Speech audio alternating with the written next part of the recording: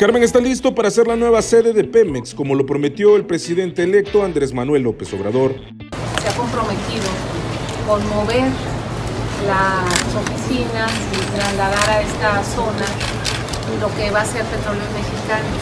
Vengo a ver las condiciones de infraestructura, inmobiliaria que ofrece esta hermosa ciudad. La isla recibió este martes la visita del equipo de transición del nuevo gobierno federal, encabezado por Rocío Nale, virtual secretaria de Energía, quien estuvo en Campeche para constatar la capacidad de Ciudad del Carmen de recibir las oficinas centrales de la Dirección General de Petróleos Mexicanos y ser sede de una nueva refinería. Y lo de la refinería, si estamos esperando que nos den los estudios costo-beneficio, que se vean los posibles terrenos, se cuida todo y vamos a ser responsables. Entonces, en, esos, en ese sentido, sí vamos a esperar al resultado y al análisis que, nos tenga el IMP que nos ha estado apoyando. Acompañada por el gobernador Alejandro Moreno Cárdenas, afirmó que el gobierno estatal ha mostrado compromiso con el avance de los cambios previstos. Excelente, excelente. Eh, tenemos eh, primero toda la colaboración y disposición del gobierno del Estado, del gobernador fue precisamente el que nos invitó a que diéramos eh, esta visita, gobernadores, y en este caso fue muy importante porque estamos viendo qué es lo mejor para el país, para petróleos mexicanos y por supuesto para Campeche. Aseguró también que en el caso de Campeche aún se estudia la posibilidad de la refinería de Atasta y que Campeche es un polo estratégico para el desarrollo del país. No, bueno, Campeche no es nada más estos seis años.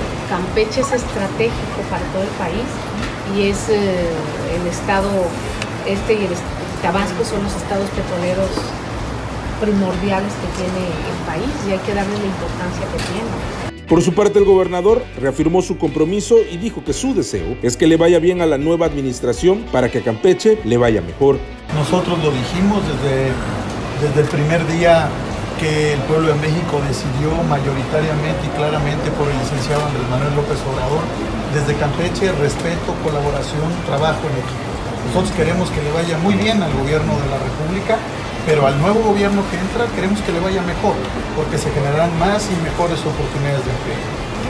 No tengo ni la menor duda que habrá de cumplirse que aquí estará Petróleo Mexicano, que se va a reactivar la economía de Carmen. Y a pesar de los conflictos electorales, seguirán trabajando por la gente. Te lo diré de una vez, eh, todo lo que sea el proceso electoral habrán de resolverlo los tribunales y trabajar con todos, sin distingos de colores y sin distingos de partidos, siempre en beneficio de todos los mexicanos. Yo creo que hay que trabajar juntos y en equipo, hay mucha tarea por delante, yo siempre le he dicho, el tiempo no sobra ni falta, el tiempo se aprovecha. En la reunión previa estuvieron presentes empresarios y parte del equipo de transición como Octavio Romero. Ahí se presentó un video de la campaña de atracción de inversiones Campeche Estado Amigo. Informó también que en la isla existen 14 edificios disponibles con las características que demanda Petróleos Mexicanos. El jefe del Ejecutivo Estatal resaltó que los anuncios realizados por el virtual presidente electo Andrés Manuel López Obrador generan buen ánimo, esperanza y compromiso permanente con el gobierno de la República. Con imágenes de Manuel Arauz,